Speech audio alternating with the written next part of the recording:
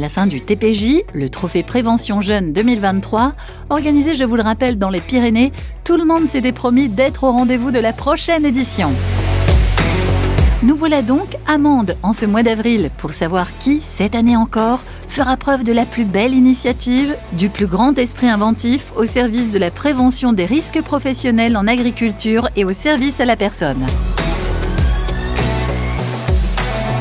Fiez pas aux apparences, il n'est nullement question de passer des vacances au gîte du Colombier. C'est bien avec détermination, mais aussi avec le plaisir d'être là, que les 17 équipes en lice pour le trophée prenaient possession des lieux.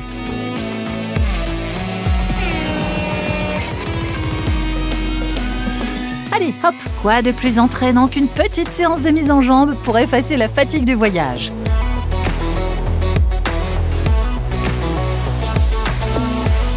Dit dit élevage. Et la belle démonstration du travail des chiens de troupeau est venue rappeler à tous le rôle important de l'agropastoralisme local. Et pour ceux qui n'étaient pas totalement convaincus, ils eurent la possibilité de poser leurs questions aux agriculteurs présents pour l'occasion.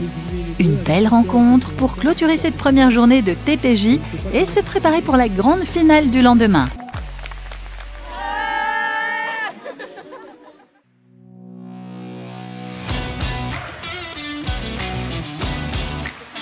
Cette année, le trophée, c'est pour nous. Voilà résumer l'état d'esprit des 17 équipes plus motivées que jamais à quelques minutes du grand oral.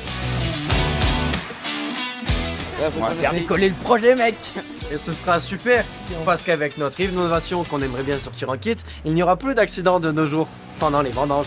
Allez, au travers des trophées prévention jeunes, ce que nous souhaitons, c'est euh, mettre en mouvement en fait les jeunes avec euh, leurs équipes pédagogiques autour de, projets de prévention, faire en sorte que la, santé sécurité au travail ou la prévention soit euh, inculquée dans l'enseignement agricole de façon la plus diffuse possible, la plus transversale en sollicitant leurs réflexions, leurs idées. Non seulement ils travaillent en création, euh, ils se challengent entre établissements grâce au trophée et, euh, ils sont euh, mobilisés par les questions de santé et de sécurité au travail. Prêt? Alors rendez-vous à midi pour savoir qui seront les trois projets sélectionnés pour la grande finale. Qui va gagner? Oui,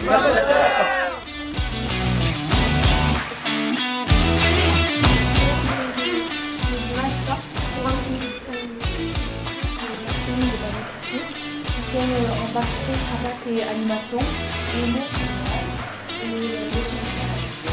nous travaillons dans le cadre de Pour ceux qui n'ont pas pu tester l'application, on peut réduire les exercices, la pratique, la prestation et de Une minute est sportif, une minute les 60.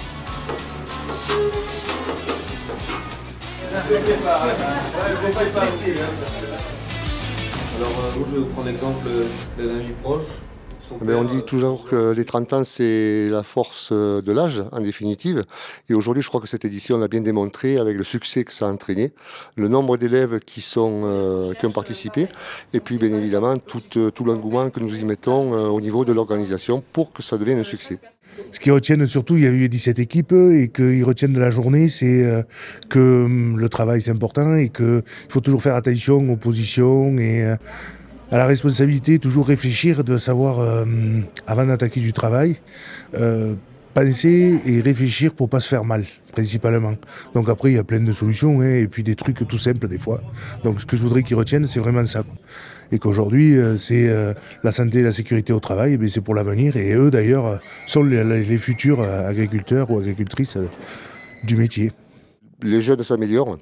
Ils intègrent à la fois la notion effectivement de santé et sécurité au travail, mais des nouvelles technologies avec euh, des projets qui euh, sont vraiment parfois époustouflants.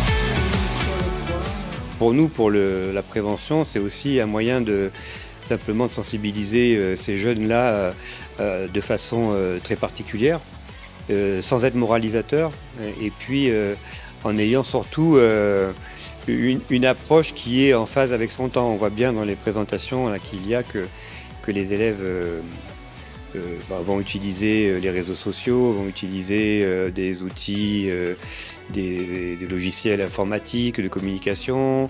ils maîtrisent très bien la vidéo. Enfin voilà, donc tout ça participe, je dirais, à propager des messages de prévention, à propager aussi des projets et puis à faire du lien euh, dans les métiers. On voit qu'ils ont cette, euh, ce souci de, de, faire des propositions, pas uniquement pour, euh, pour eux ou pour l'exercice, mais aussi pour leurs connaissances qui sont des professionnels ou pour leurs collègues de travail.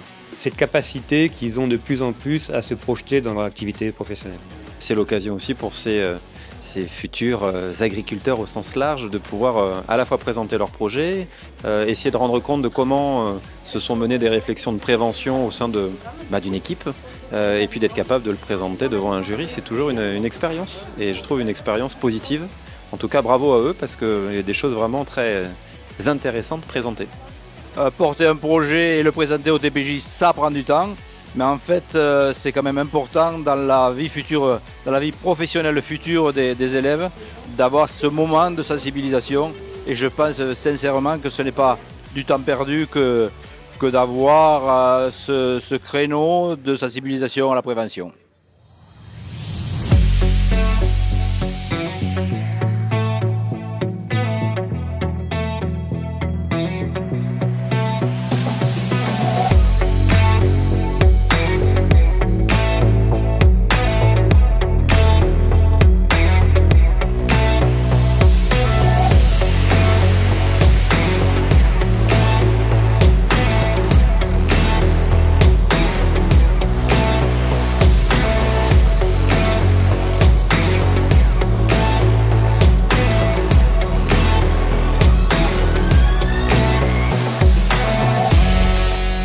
En quatrième position, donc, équipe 16, François Rabelais en Lozère.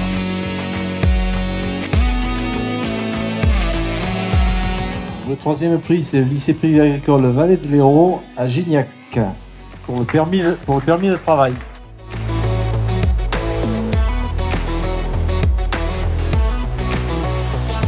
Alors, il s'agit du LEDGA Lecta, pardon, Louis Pasteur à la Canourgue. Bravo Avec un prix de 1500 euros.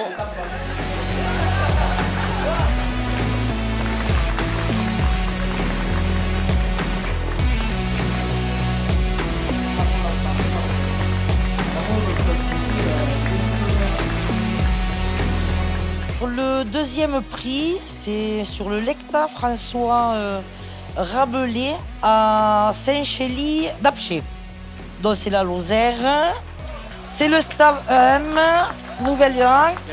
Le prix est de 1000 euros.